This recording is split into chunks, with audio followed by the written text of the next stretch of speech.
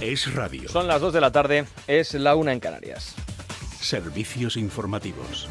El día tiene una protagonista y se llama Paz Esteban. Tal vez usted, recuerde vagamente este nombre. Es la exdirectora del Centro Nacional de Inteligencia que fue fulminada por la ministra de Defensa, Margarita Robles, porque no logró que dimitiera, que era lo que pretendía Robles inicialmente. Bueno, el gobierno entregó su cabeza en bandeja de plata porque se lo exigieron los independentistas, que reclamaban responsabilidades después de que trascendiera que el gobierno había investigado con el programa Pegasus al entonces vicepresidente del gobierno catalán, que era Per Aragones. Para intentar tapar todo aquello, esto también lo recordará usted, se montó una cortina el gobierno, una cortina de humo autodestructiva, desvelando que el teléfono del presidente y de algunos ministros también había sido infectado con Pegasus. Se formó un escándalo que nunca terminó de investigar porque nunca se terminó de investigar. Porque aunque el gobierno dijo que se llegaría hasta el final, no ayudó mucho al juez de la Audiencia Nacional que dejó el asunto en un cajón por falta de colaboración de dos gobiernos, el de Israel y por supuesto el de España. Entender el contexto es esencial para abordar la comparecencia de Paz Esteban a la que se cita declarar por ser supuestamente la responsable de haber infectado con Pegasus el teléfono del hoy presidente catalán, que es quien presentó en su momento la querella. De momento que Paz Esteban tiene la oportunidad de explicar, si es que quiere hacerlo, porque puede acogerse también a su derecho a no declarar, cuál fue la razón, puede explicar, por la que el CNI que ella dirigía decidió espiar a Per Aragones. En otras palabras, lo que el juez intenta conocer es si este espionaje fue legal y estuvo sostenido por una motivación legítima, como la de neutralizar a quienes intentaban poner en jaque la seguridad nacional y desestabilizar el Estado, o no se hizo. Y también se trata de esclarecer qué tenía que ver en todo esto Per Aragones. Miren, en el año 2019, cuando ya llevaba Pedro Sánchez gobernando más de año y medio, esto es importante y ahora verán por qué, la inteligencia española creía que Per Aragonés era el cerebro de los CDR y por eso en el gobierno de España entendieron que espiarle, como reclamaba el CNI, al Tribunal Supremo, pues era una cosa que precedía y procedía, evidentemente.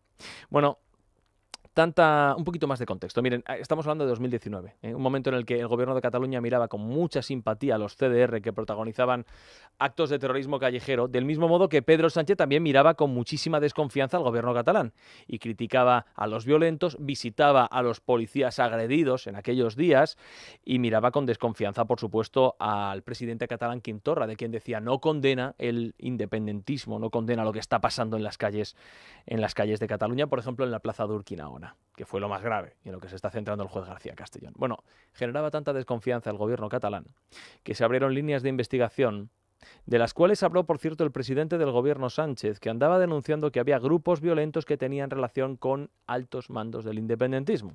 El presidente estaba bastante al tanto de las pesquisas y así lo manifestaba en una entrevista en Telecinco.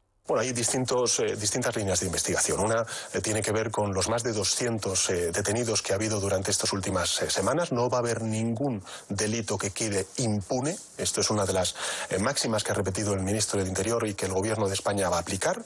en segundo lugar, hay que ver exactamente estos manifestantes que han producido estos actos vandálicos y también cortes en infraestructuras estratégicas, como es, por ejemplo, la P7, la responsabilidad administrativa y eventualmente penal que pueden tener.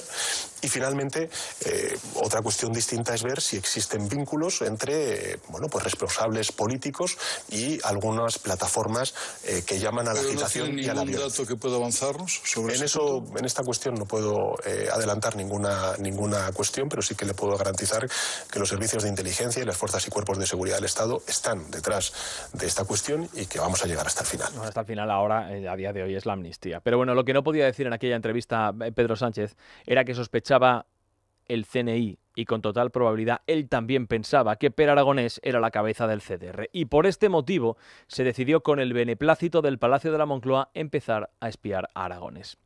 Porque el control del CNI lo ejerce el gobierno, saben ustedes, que a principios de año fija la estrategia que se va a llevar. La estrategia que se revisa y que se renueva si es necesario cada tres meses. La tutela la ejerce el gobierno, que está al tanto de, por supuesto, de lo que hace el CNI.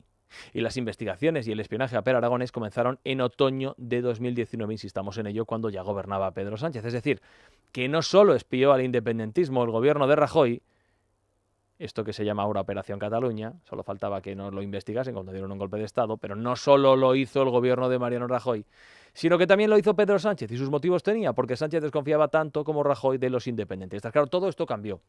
Porque en 2020 Pedro Sánchez empezó a necesitar a los independentistas, firmó con ellos un pacto de investidura y entonces todos se volvieron buenos y beatíficos. Y entonces Pedro Sánchez empezó a indultarlos y ahora mismo a amnistiar a todos aquellos y los delitos que hace tiempo le parecían al presidente totalmente execrables. Y este fue el motivo por el que echaron a Paz Esteban, que hoy comparece. Es importante el contexto. ¿eh? Y es importante recordar que este espionaje aragonés se prolongó durante año y pico mientras gobernaba Pedro Sánchez. Vamos a volver a insistir en ello. ¿Y cómo nos hemos enterado de esto? Pues miren, porque entre los acuerdos de gobierno con Esquerra Republicana de Cataluña, los de ahora, los de esta legislatura, no los de la anterior, sino los de esta, entre los acuerdos estaba desclasificar toda la información referente a este caso. Y el gobierno lo hizo. Bueno, lo hizo sin caer en que en toda esa información figuraba negro sobre blanco que mientras gobernaba Pedro Sánchez espiaba a los socios, es decir, tiro en el pie. Es más, el pasado 16 de enero, era martes, la mañana en la que se desclasificó toda la información, el gobierno presumió de transparencia. Y mientras acusaba a Mariano Rajoy de las vergonzantes y bochornosas escuchas y las investigaciones que le hicieron al independentismo, pues venía a decir que ellos no, ellos, por supuesto, ellos, por supuesto, hacían las cosas bien. Y que con Pedro Sánchez no se espiaba. No, no, no, no, no. Adelante, Pilar Alegría, ministra, por todo saque usted pecho. También quiero decirles, con la misma seriedad, lanzar un mensaje de tranquilidad a la ciudadanía de mi país. Y decirles claramente que estas actuaciones vergonzantes y bochornosas. Presidenta Teresa Rivera, que insinuó que este juez prevarica y desde Esquerra desde Esquerra no tienen tantos, tantos miramientos. ¿eh? Lo dicen abiertamente. Teresa Jorda, por ejemplo. Eh, Eso es meterse en un proceso que no toca. Eso quiere decir prevaricación directamente. ¿Está prevaricando García Castellón? Absolutamente, absolutamente. Lo primero que se me pasó por la cabeza es este señor se inventa acusaciones a medida que la ley avanza. A medida que la ley avanza. Y este es un argumento que está haciendo fortuna, pero que tiene un punto débil. Porque si el juez García Castellón fuera tan civilino, tan malvado y tan prospectivo como dicen, si realmente quisiera que Puigdemont no escapase de la cobertura de la impunidad, se callaría, guardaría todos los autos en el cajón y dejaría que se presentase la ley sin decir absolutamente nada. Se limitaría, por tanto, a esperar, sin aportar ni una sola pista, aguardando que Puigdemont se diera el batacazo y el gobierno con él también, pensando que estaba blindado sin realmente estarlo. Pero el juez no está haciendo esto.